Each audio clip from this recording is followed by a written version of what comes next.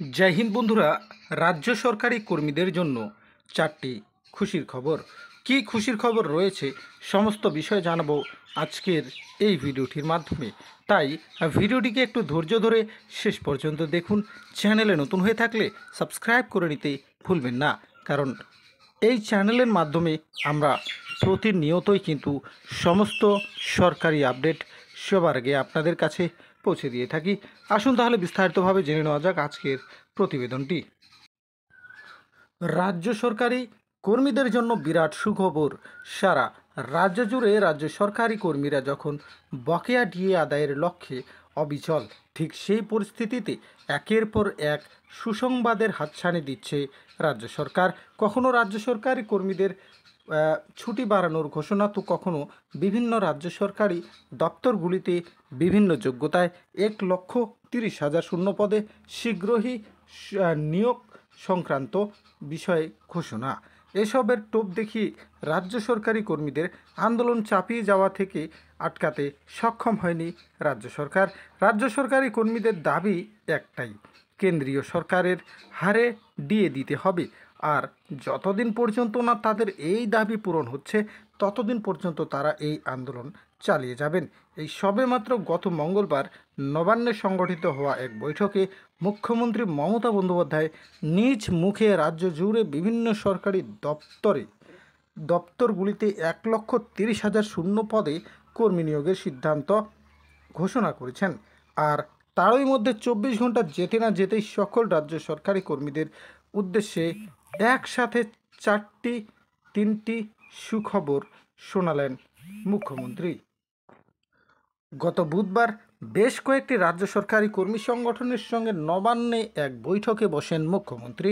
সেদিন ওই বৈঠকে হাজির ছিলেন ডাব্লিউবিসিএস অফিসারদের একাধিক সংগঠন সহ অন্যান্য সব দপ্তরের বেশ কিছু রাজ্য সরকারি সংগঠন আর তাদের সঙ্গে বৈঠক চলাকালীনই রাজ্য সরকারি কর্মীদের উদ্দেশ্যে চারটি দুর্দান্ত খুশির খবর বার্তা দেন।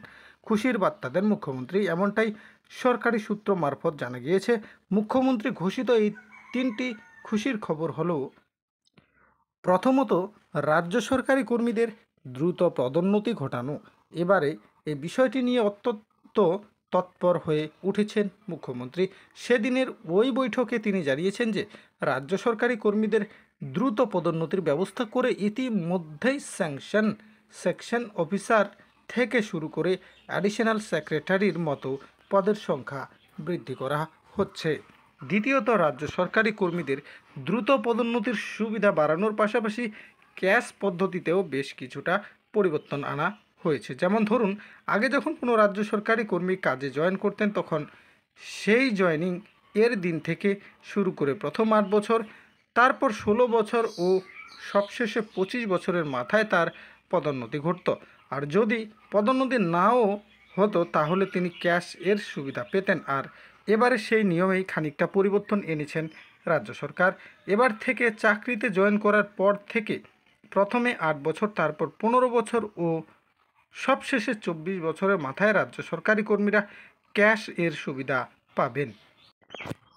তৃতীয়ত, শুধুমাত্র দ্রুত পদোন্নতির ব্যবস্থা ও ক্যাশ পদ্ধতিতে পরিবর্তন আনাই নয়, রাজ্য সরকারের তরফ থেকে রাজ্য সরকারি কর্মীদের যে স্বাস্থ্য বিমা প্রদান করা হয়ে থাকে, তাতেও কিছু পরিবর্তন আনা হয়েছে। যেমন, আগে রাজ্য সরকারি কর্মীদের স্বাস্থ্য বিমা প্রদানের ক্ষেত্রে যে বয়সের উর্ধ্বসীমা নির্ধারিত ছিল, তা বাড়ানো হয়েছে।